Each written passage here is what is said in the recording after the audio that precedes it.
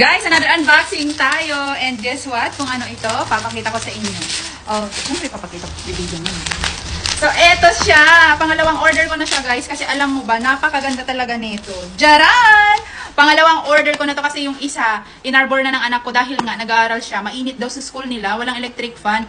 So, ayang bumili na ako ng isa pa. Ang pinili ko ay kulay pink. So, ganun pa rin, 4,800, uh, 4,800, 4,800 milliamperes. Kasi ito yung magtatagal. Magtatagal ito, magagamit mo ito ng up to 16 hours, tuloy-tuloy na uh, umaandar yung electric fan. Imagine mo yan. Bagay talaga to sa mga estudyante na pumapasok sa school, na maghapon sa school, na mainit sa kanilang paaralan. At ayan, may, mayroon silang electric fan na ganito. So, ayan yung kasama niya, syempre yung electric fan. Tapos ito po yung mga kasama niyang accessories. Ayan, may sarili siyang USB. So, USB siya. Tapos, oh, may kasama pala siyang ganito. Hinahanap to ng anak ko, hindi ko nasabi. And ito yung kanyang manual. So may pa-certificate sticker pa siya dyan. So yun lang naman ang laman ng kanyang uh, kwan guy, ng box. Ayan. So ayan na nga, i-unbox natin ito at iti-test na natin.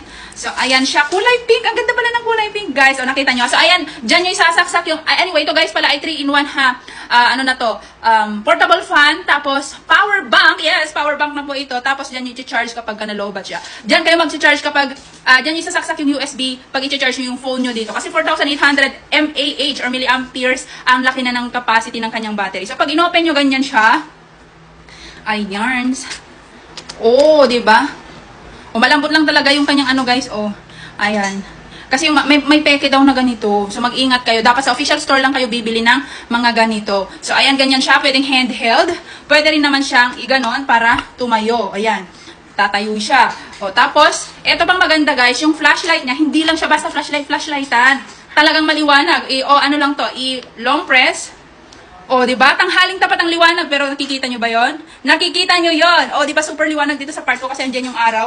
Ayan, o. Nakikita pa rin yung kanyang ilaw. So, maliwanag to sa gabi, guys. Ayan, long press lang din natin siya para patayin. And then, pag inopen natin siya, hangin. So, ito yung number one.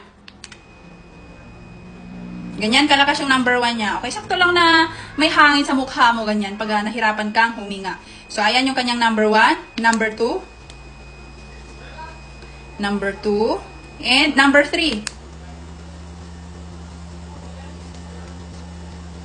Okay na ba sa inyo yan? Ayan. Para sa mga bata, saktong-sakto na to sa kanya, kanila. So, ayan, no? Ba? So pag tuloy-tuloy niyo 'tong ginamit ng maghapon, up to 16 hours yung inaabot niya. Pero kapag ka, ano siya, naka number 1 lang up to 46 hours.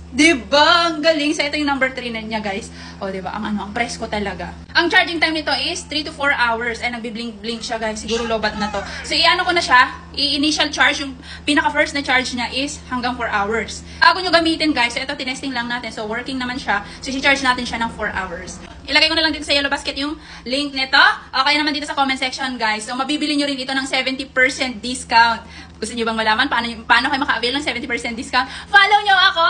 Or message nyo ako. DDM ko sa inyo kung saan nyo ito mabibili ng naka 70% discount. Halika na! Ay, sarap-sarap naman talaga. So, 70% discount ang bili ko dito, guys.